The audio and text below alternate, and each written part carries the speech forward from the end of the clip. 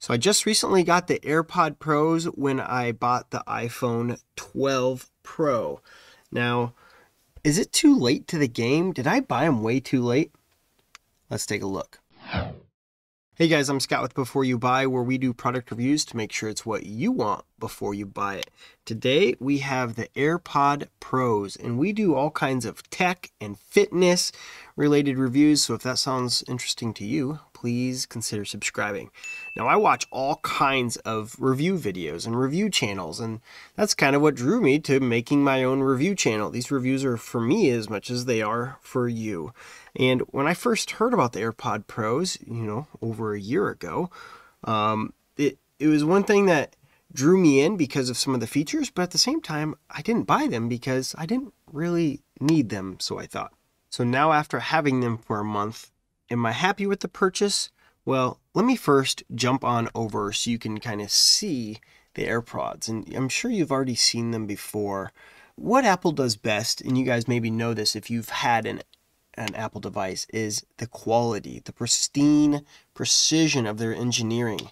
I mean, I, I found my, myself even playing with this incredible magnetic lid, like almost almost like a Bic pen, right? Because it's it's it's satisfying. It's it's gratifying. It's the clicking. I know it's annoying, and the case also charges wirelessly. So I've actually never even used the Lightning port. I wish it was USB Type C, obviously, but I always just throw them on my charge pad. This isn't one, but at my desk upstairs, my editing room, and I throw this on my charger right next to my monitor there, and it charges it up no problem. Now, the battery is so tiny in this. It's, in fact, uh, you can kind of see it if you look really close. Am I going to be able to get that on camera? Oh, yeah, baby. Maybe. It's hard to focus on that, but the battery is only 519 milliamps. Okay, so the good news is it's a relatively small battery, so it can charge really quickly. And this case only has enough charge for 24 hours of recharging for these. But that's 24 hours of listening. And I gotta say, I don't think I've ever had my headphones below like 40%, including the case and headphones, because I'm relatively close to a charge station most days. And I don't know about you, but I've never listened to headphones for 24 hours straight. So keep that in mind, unless you're going to be gone for multiple days without battery life then these are easily an all dayer, two, three, four dayers. I've used them for over a week, no problem. The standby time I, must be insane, must be ridiculous, must be infinite. So, one thing I do want to show you is when you first open up your AirPods, it's going to come up on your screen showing you the battery life. The headphones have currently 100% charge, and the case is currently at a 70% charge. That's kind of a nice feature, so then that way when you pull them out, but it kind of makes like a doo doo sound when you put them in your ear and they show that they are connected. Now, the incredible thing about these headphones is this. Check this out.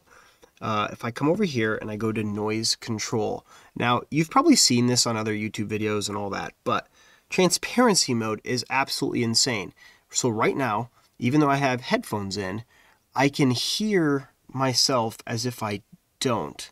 Now it sounds a little tinny because what's happening is the these microphones on the headphones is passing back through into the headphone as if I'm, you know, talking without headphones in, right? So it's just passing mics through. Now those are the same mics that they use for the noise cancellation.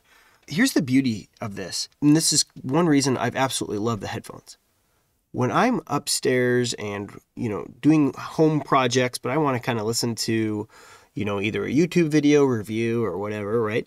Or maybe a podcast, I can leave these in, have them on transparency mode, and if my family is trying to talk to me, it comes through as if I don't have headphones on. But I can still hear the music or, you know, podcast or video just fine as well. Now that's a huge win because that way my family or other people aren't going Scott, Scott, Scott, Scott, right? That's the worst. So it's it's like I can not tune out my family, but I can still, um, you know, keep my brain going, doing other things. I'm a learner. I always love to constantly do that. Now the flip side is the noise cancellation. So jumping back over, so the off is strictly just that. It's off as if you know you don't have headphones in at all. What you can do is go to noise cancellation mode.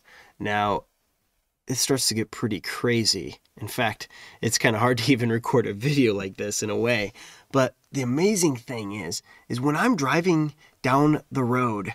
So I just recently did this for a family trip. I rarely use these in the car, by the way, for this reason, uh, and it's kind of illegal.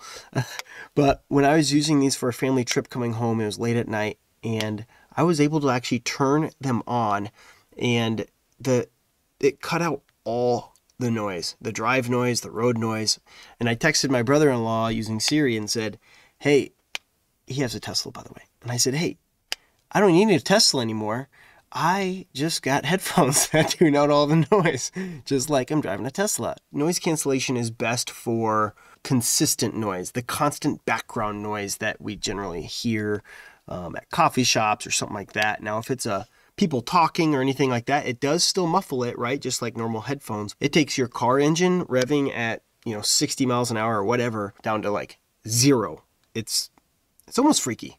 Now, the beauty of the transparency mode versus noise cancellation mode is I have it set up. You can kind of customize these. So a single click on these earbuds, uh, the stem of it, it if I push and hold, it turns on to, you know, right there, noise cancellation mode. So now I can hardly hear my voice.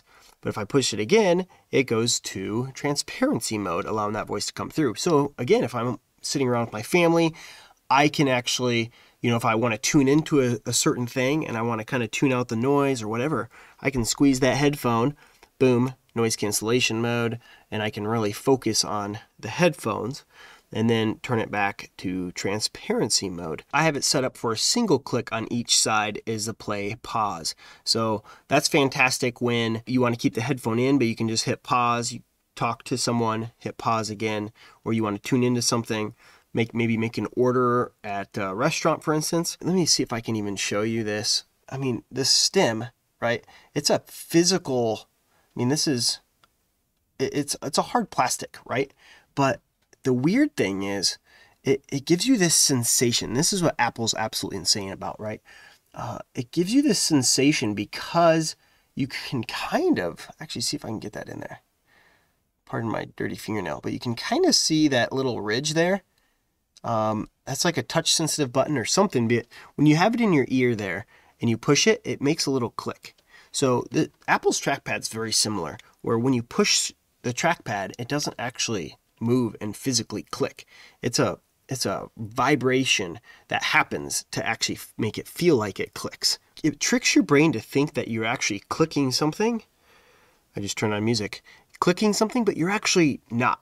It's it's insane. And this is what Apple's amazing at. Now that all comes down to user experience and that's the thing that I knew Apple would excel at, right? Because I mean, you got this incredible case Wireless charging finally on these ones. Um, the original AirPods do not. You can buy a specific case for those.